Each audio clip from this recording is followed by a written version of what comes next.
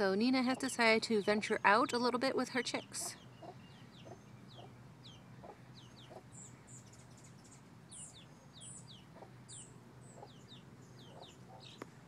She's apparently clucking to them.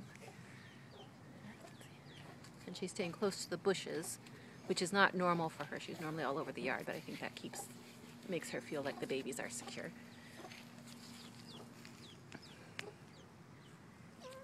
And I have a tiny little companion right here, Miss Bumblebee,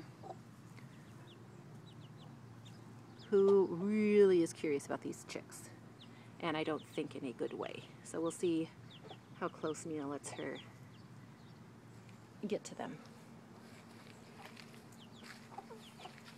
But I have to say, this is about the most adorable thing, having these little baby chicks wandering around my backyard. It's the Cutest darn thing ever. There will definitely be more chick hatching in our future. I can find them. She's showing them some good spots to where there's loose dirt to dig around and find some tasty things. There should be some good bugs and stuff back in this dirt. It's pretty um, fertile for my yard.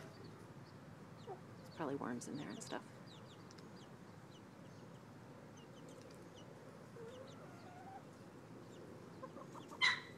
So in, the in addition to the woman with the camera following her around, uh, she has her uh, flock.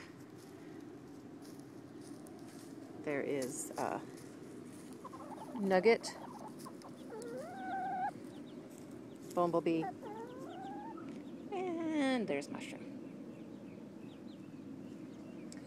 Uh, Nina was the queen bee, the top hen, so I think they're they kind of want their leader back but then she has these babies, so she's they're really not sure how to deal with that because she doesn't like them too close.